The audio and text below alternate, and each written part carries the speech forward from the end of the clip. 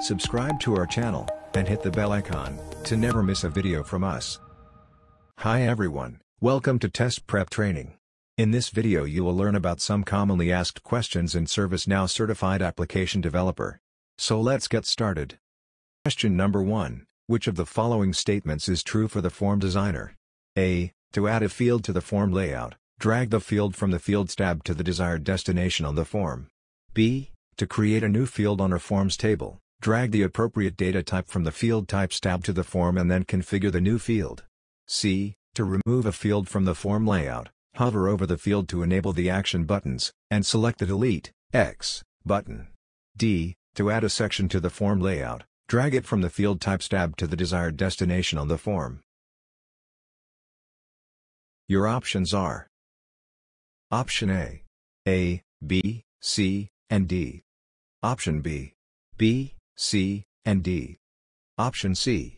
A, B, and D. Option D. A, B, and C.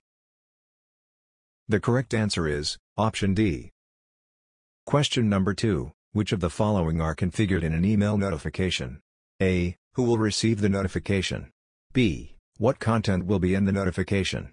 C. When to send the notification. D. How to send the notification. Your options are Option A. A, B and C. Option B. A, B, and D. Option C. B, C and D. Option D. A, C and D. The correct answer is, option A. Question number 3, to see what scripts, reports, and other application artifacts will be in a published application. Your options are A. Enter the name of the application in the global search field. B. Open the list of update sets for the instance. C. Examine the application files related list in the app to be published. D. Open the artifact records individually to verify the value in the application field. The correct answer is, option B. Question number 4, which one of the following is not a debugging strategy for client-side scripts? Your options are The correct answer is, option D. Question number 5, which application access configuration field are not available, if the can read configuration field is not selected? Your options are a. All access to this table via web services. B. Can create, can update, and can delete.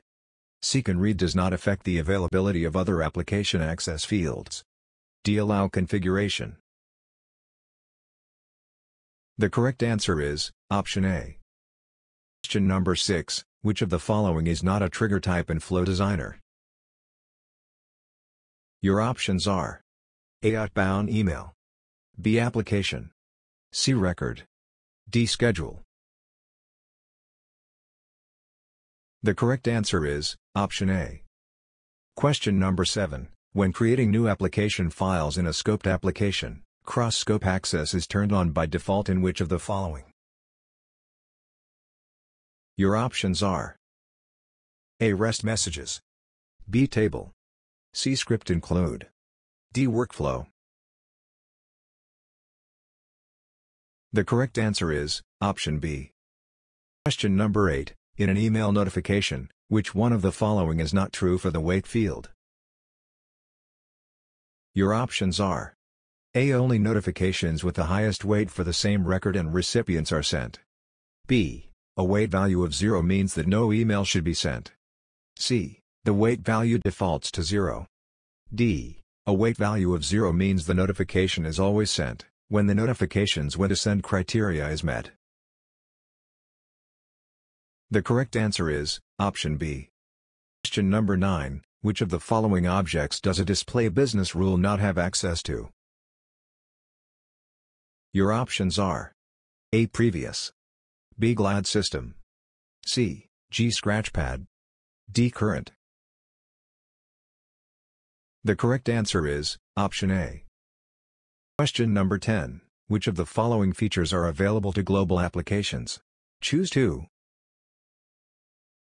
Your options are A. Automated Test Framework B. Source control. C. Delegated development. D. Flow designer. The correct answers are, option C, and D. For more such videos, subscribe to our channel.